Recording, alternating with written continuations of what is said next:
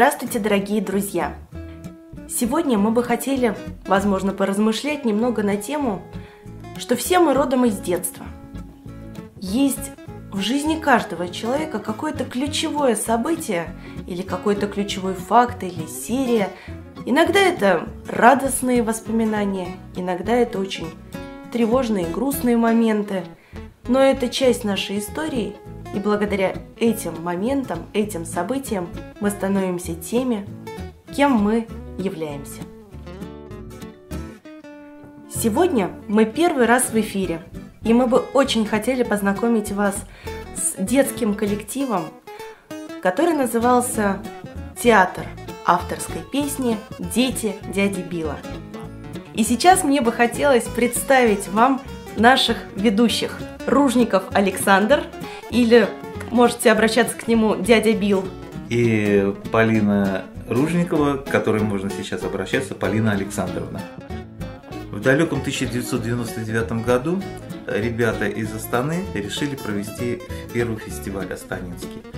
И мы стали готовиться к нему, взрослые, а дети бегали под ногами. Мы думали, чем их занять. Пришла идея попробовать спеть несколько ковбойских песен. И поэтому э, меня назвали дядя Билл. Ну а если маленькие дети, то, естественно, дети дяди Билла. Ну, стоит отметить, что с этим названием было много курьезов, поэтому мы часто произносим его очень медленно. И дядя бил детей, и дети... Э, били дядю. Э, били дядю, и все остальные интерпретации вы тоже можете сами додумать. Ну а пока для вас звучит не первая, но ковбойская песня. На стихи Юлия Кима. Храбрых кабальера поехали в Мадрид, И каждый был Тореро, и каждый знаменит. Один из них, Дон Педро, смеялся и шутил, И красную малагу из красной фляги пил. И каждый песню напевал, ля-ля-ля-ля-ля, И каждый мула подгонял, но-но, но-но-но.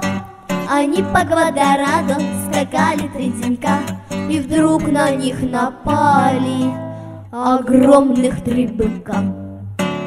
Два храбрых кабальера пустились на утек, А с бедным Доном Педро Случился нервный шок. Теперь никто не напевал Тра-ля-ля-ля-ля-ля и никого не подгонял. Но,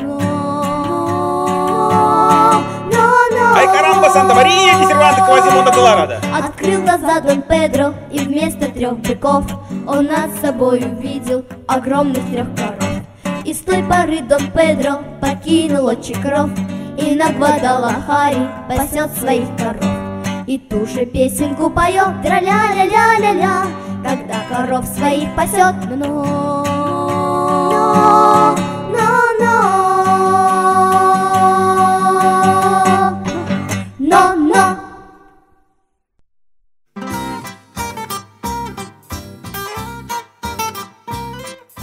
Вместе с бардовской песней в нашу жизнь пришли и бардовские фестивали. На этих фестивалях мы учились жить. Кто-то научился плавать, кто-то первый раз поцеловался, кто-то провел ночь в брезентовой палатке и понял, насколько это ужасно холодно и мокро. Мы были предоставлены сами себе, но в то же время было объединяющее с родителями дело. Концерты, посиделки у костра и много-много знакомств. Самое ответственное это было для родителей э, дать понять детям, что мы им доверяем. И они обретали некую свободу, но в них мы как-то э, считали, что есть чувство ответственности. Поэтому надеялись, что все будет хорошо. Но не всегда было все хорошо. Например, в Алматы, когда происходил большой фестиваль, э, там была дегустация вин. И мальчишки, которые потом ну, были в нашем коллективе, э, вместе с девчонками попробовали вина. Они скрыли это, но потом честно сказали, вкусное было. Мы спросили, что они говорят, белое. Наш ансамбль много где путешествовал и даже был в горах. Поэтому э, сейчас прозвучит песня про Федю. Музыку, которую написал Анатолий Загод, а слова Владимир Пруцков. Старинная туристская песня исполняется на английском языке. Про Федю! Склоны гор крутые и каменистые. Очень тянут плечи рямки рюкзаков. Пам-падам, падам, пам Шли тропой небритые туристы ночью. Маленький отряд тысячников Пам-пам, падам, пам Каждый полон мужества и силы. На душе приятно и легко. Вдруг раздался голос Феди. Может, мы домой поедем? Дом еще недалеко.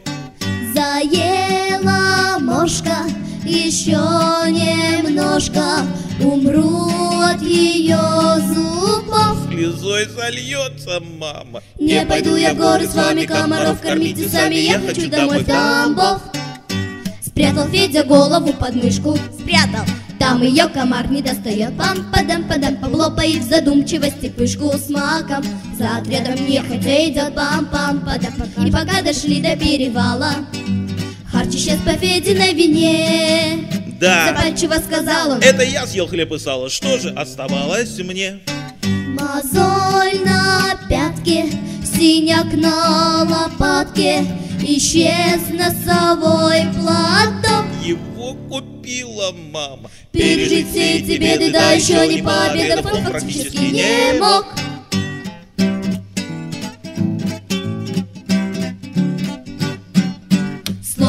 Федя не был оптимистом Да, был. В жизни не искал опасных тропам. Падам, падапам, эй вы сумасшедшие туристы. Эй вы, вы меня загнать хотите в гроб, что ли? Не пойду в поход, я даже близкий. Телевизор я себе куплю. Брошу я рюкзак туристский Лучше я займусь английским и на курсы поступлю. Forever believe me I have at home And you go mountains сами в горы. Мне же оставьте идеалы и подушку с одеялом Вышлите меня домой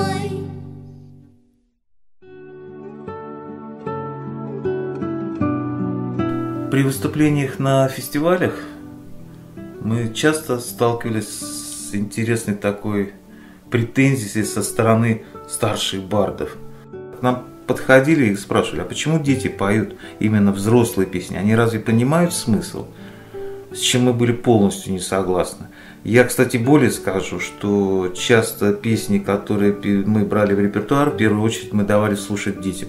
И они э, давали свою резолюцию, так сказать, и говорили, мы будем петь эту песню. И когда на фестивале в Петропавловске э, Андрей Козловский услышал, что дети поют «Белые облака» его песню, он подошел и сказал, девчонки, я хочу с вами спеть эту песню вместе. Мы понимали, понимали на своем уровне. Эти песни нам позволяли взрослеть, возможно, лучше понимать родителей, старших товарищей, друг друга. Я очень рада, что эти песни вошли в наш репертуар именно в том возрасте. И сейчас прозвучит одна из наших любимых композиций – песня «Фрегат» на стихи и музыку Алексея Иващенко.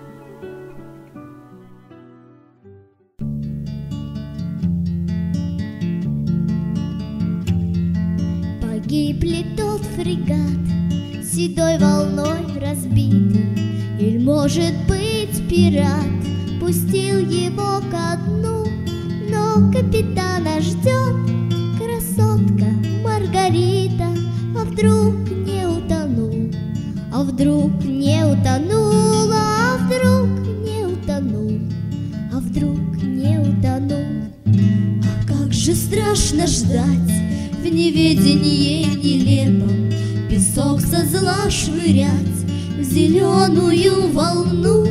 Зачем вы зеркала прикрыли черным крепом?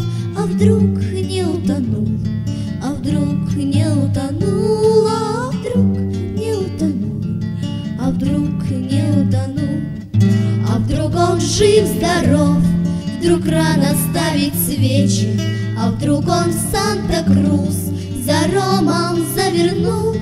А вдруг случился штиль или просто ветер встречный Но вдруг не утонул, но вдруг не утонул, но вдруг не утонул, но вдруг не утонул?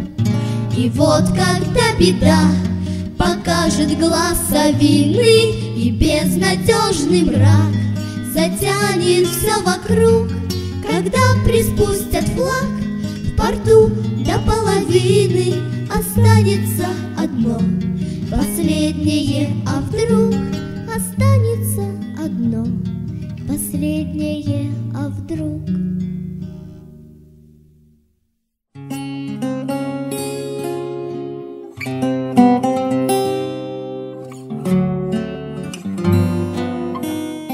теперь хотелось бы немного о трудностях, с которыми мы столкнулись уже во взрослом возрасте.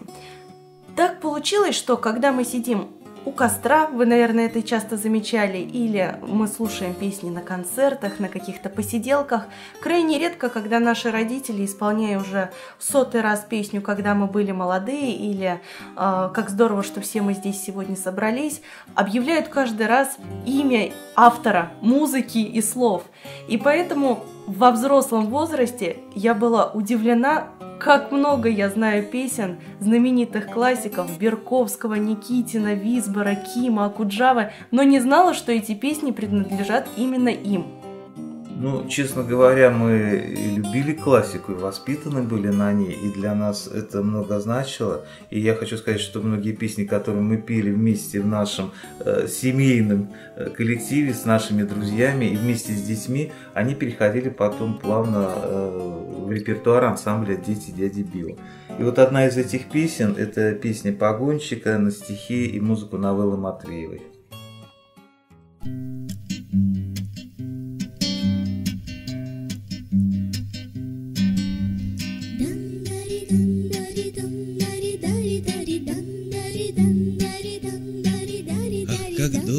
Долго-долго едем, Как трудно в горах дорога, Чуть видны вдали хребты Туманной сьерры.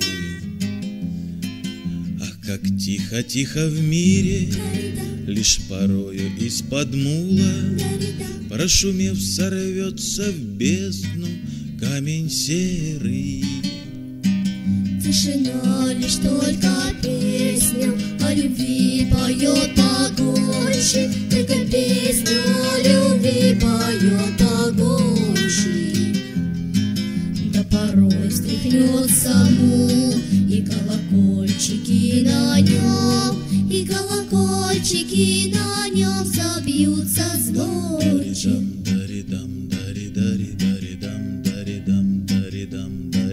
Ну скорей, скорей, мой мул, Я вижу, ты совсем заснул. Ну поспешим, застанем дома дорогую. Ты напьешься из ручья, А я мешок сорву с плеча И потреплю тебя и в морду поцелую. Тишина лишь только песню любви поет погонщик, Только песню о любви поет погонщик. Да порой встряхнется мул, и колокольчики на нем, И колокольчики на нем забьются звонче. Тишина лишь только песню песню любви поет погонщик. Да порой стряхнется мул, и колокольчики на нем, И колокольчики на нем забьются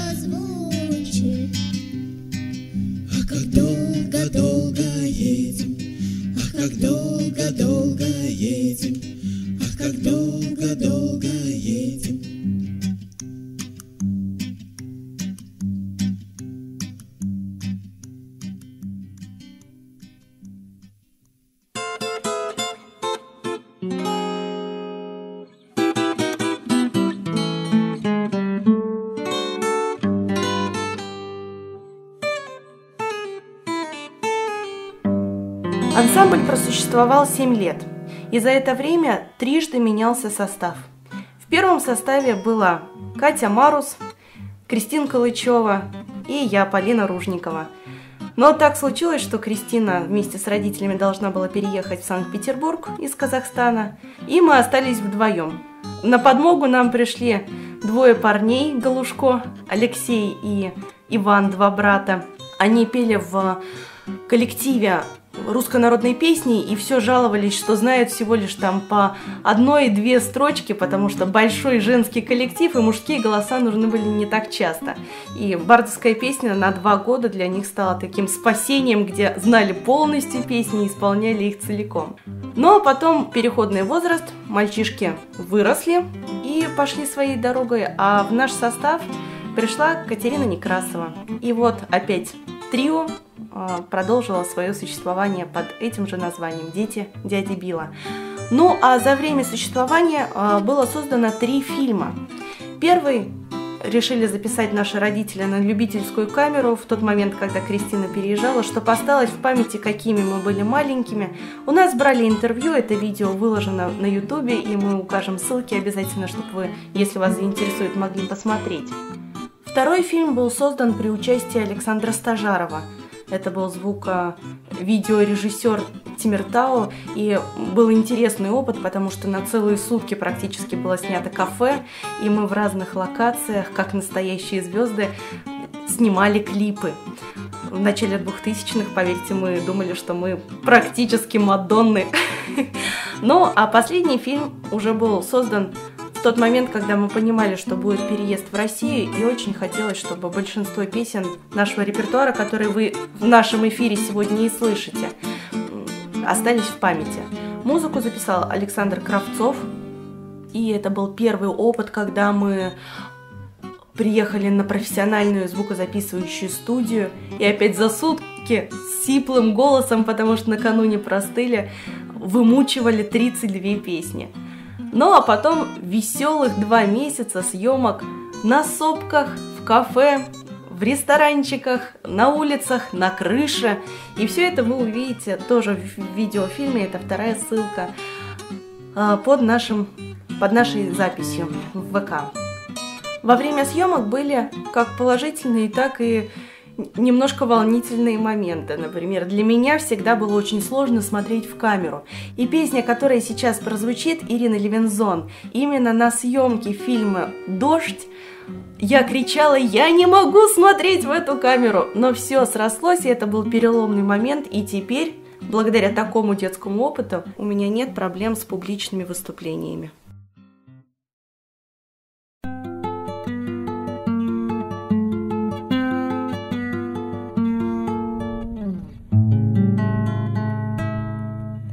Ночь напролет, целый вечер, целый день напролет.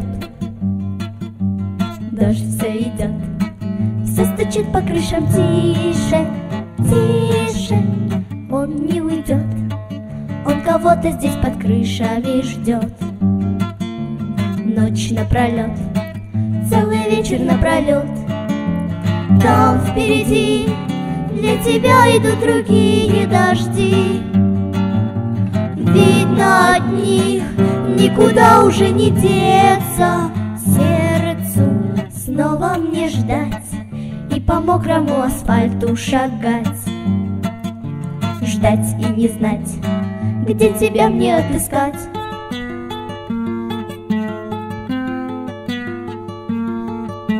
Ночь напролет, целый вечер, целый день напролет Все тебя ждет в этом доме, в этих окнах мокрых Дождь все идет, даже дождь тебя без устали ждет Ночь напролет, целый вечер напролет Ну оглянись, ну когда-нибудь внезапно вернись.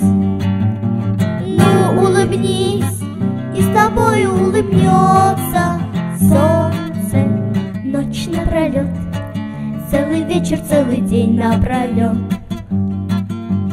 Дождь все идет Целый вечер напролет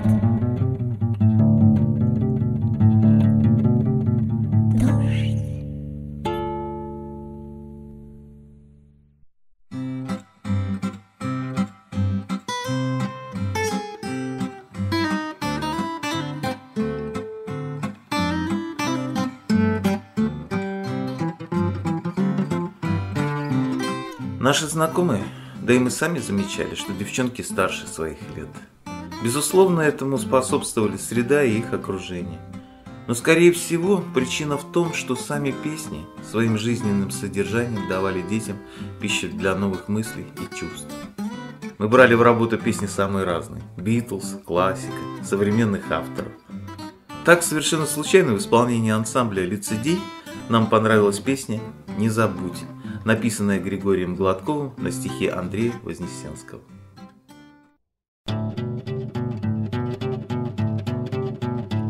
Человек надел трусы, майку синей полосы, джинсы белые, как снег, надевает человек.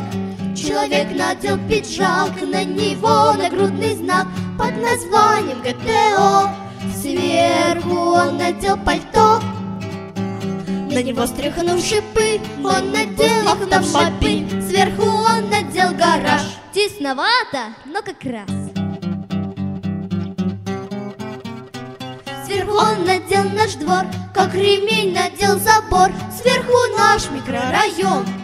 Область надевает он, опоясался, как рыцарь государственной границы и, качая головой, надевает шар земной, черный космос натянул, крепче звезды застегнул, Млечный путь через плечо, сверху кое-что еще. Человек глядит вокруг, вдруг у созвездия весы Он вспомнил, что забыл часы. Где-то тикают они, позабытые, одни. Человек снимает страны и моря, и океаны, и машины, и пальто. Он без времени ничто. Он стоит в одних трусах, держит часики в руках, на балконе он стоит и прохожим говорит. По утрам, надев трусы, не забудьте про часы.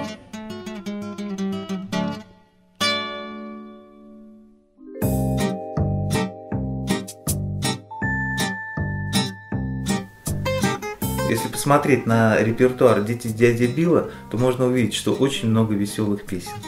Мы учили детей разбираться в этом, э, соотносить юмор по отношению к себе, с юмором относиться ко многим проблемам, да просто жить с э, таким вот веселым настроением.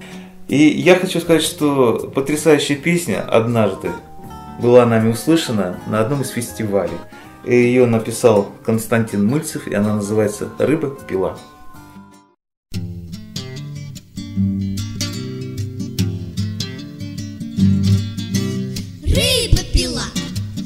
Сточила зубы и спокойно легла. На дно раскласив губы, Как хорошо лежать на дне От всех волнений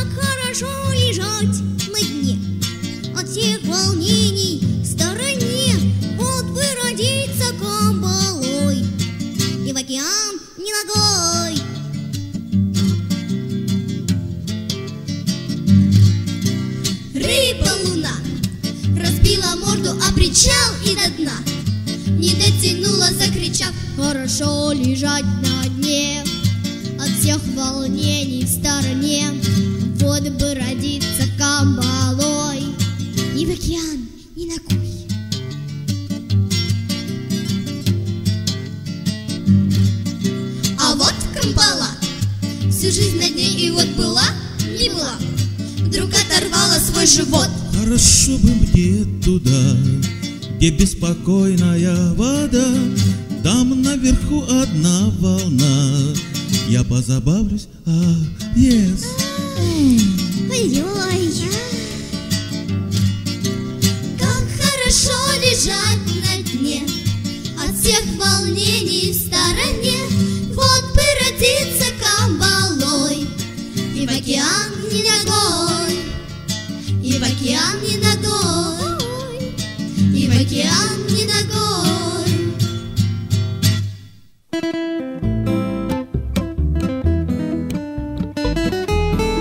В нашей семье Ружниковых есть еще старшая сестра Ксения, Ксюша. И конечно же, родители ее тоже пытались привлечь к авторской песне, даже, мне кажется, чуть раньше, чем меня. Но так получилось, что не лежит у человека душа к нашему товарищу любимому жанру. В 16 лет она сказала свое резкое фи и занялась танцами. Хип-хопом, тодесом, пилоном, танго, чем угодно, лишь бы не слушать нашу авторскую песню. Однако, став мамой и сейчас воспитывая сына, она сказала ключевую вещь нам. Неважно, чем ты будешь увлечен, главное, чтобы твои дети были рядом с тобой и видели то, как ты этим делом занимаешься, как ты за него радеешь. Сейчас Ксюша частый гость на наших фестивалях и на посиделках, а своего годовалого сына учат танцевать танго. И поэтому сейчас прозвучит песня «Балет», которую написал Юрий Энтин, а музыку придумал Сергей Никитин.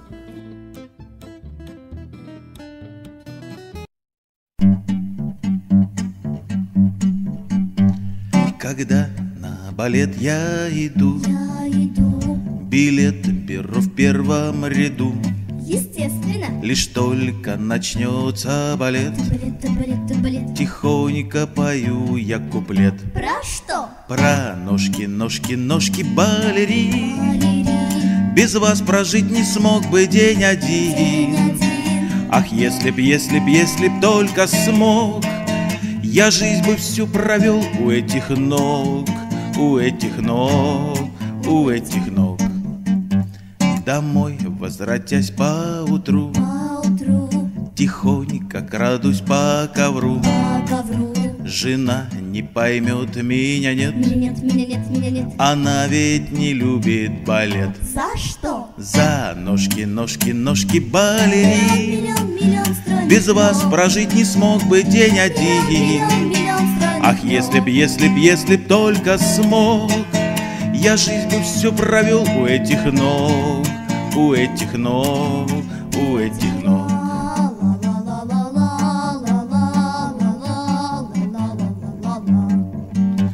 Я не мощен стану и стар, Станешь стар, Страстей поутихнет пожар, тот пожар. Но прежде чем мне помереть, Помереть, помереть, помереть. Я все же приду посмотреть На что?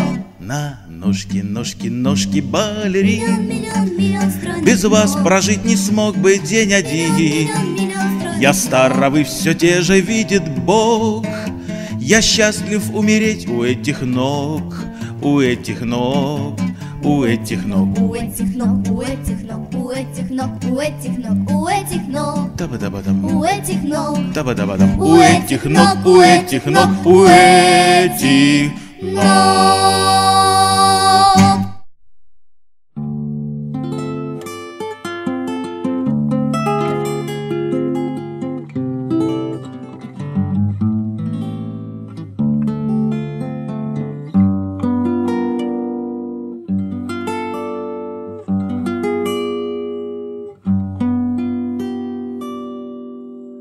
Прошло 15 лет. Мы все выросли. Кто-то из нас стал семейным человеком, кто-то ищет еще свое счастье. У каждого абсолютно разные профессии. Из всего коллектива песней бардовской занимаюсь только я. Катерина Некрасова сделала песню, правда, эстрадную своей профессии. Катя Марус любит просто приходить на концерты разных исполнителей. Мальчишки выучились играть на гитаре и играют просто для себя. Кристинка уже, мне кажется, поет песни для своей малышки. В общем, у каждого бардовская песня заняла свою нишу в жизни, и мы за это благодарны нашим родителям. Я не знаю, что больше всего повлияло на меня в детстве, но то, что дети дяди Билла большим был важным отрезком, важным этапом, это точно. Ну и в конце хочу сказать, что э, вот данное сообщество, данный ансамбль «Дети, дети Билл», он как-то получился спонтанно, и он сплотил на многие годы наши семьи, наших друзей, Мы не были э, официальным коллективом, мы не были привязаны к кому-то, мы были каким-то образом независимы финансово, и это дало нам определенную свободу. Мы э, что придумывали, что хотели, что экспериментировали, и все это воплотили в жизнь. Я очень рад, что есть юношеские фестивали, такие как «Глория», это в Петропавловске, потрясающий фестиваль, такие же, как «Журавлиная Родина», которую вели Цивкин Владимир и Светлана Цивкина. И этот э, фестиваль продолжает существовать. Также «Четыре четверти» город в Ярославле. Э, я пожелаю всем этим огромным фестивалям и их коллективам, которые посещают, просто большого творческого счастья и долголетия.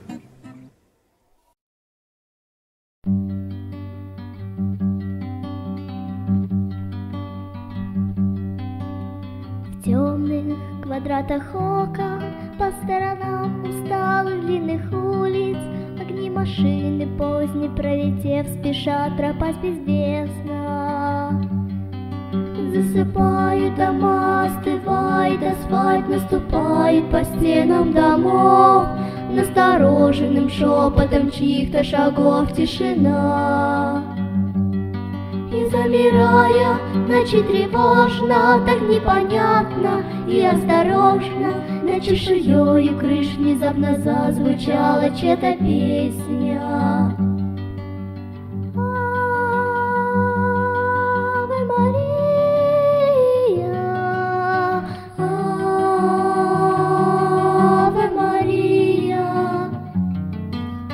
Утром звенящим взволнованный бег Рвется в смущении зажмуренных век. Аве Мария, Аве Мария, Аве Мария, Аве Мария.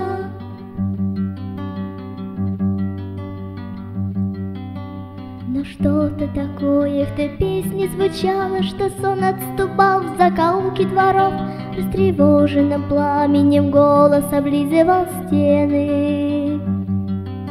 Говорил сонным окнам о давнем и скором, О горе и радости он, Как будто в медной груди медный голос Будил медный звон, звон.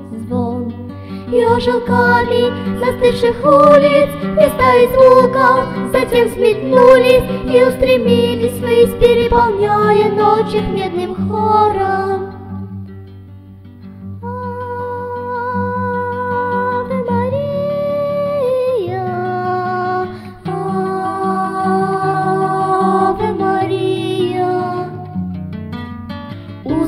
Окна могучей волной Дрогнули тенью над спящей землей. Аве Мария, Аве Мария, Аве Мария, Ответил камень торя гулким эхом. Аве Мария, Аве Мария, Но замолчал и резко стихла песня. Аве Мария, Аве Мария, Аве Мария, Аве Мария,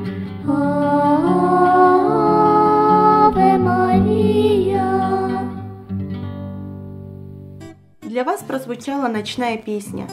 Автор музыки и слов Юрий Песковский. На этом наша передача подходит к концу. С вами был Александр Ружников или дядя Бил. И Полина Александровна. До новых встреч в новых передачах.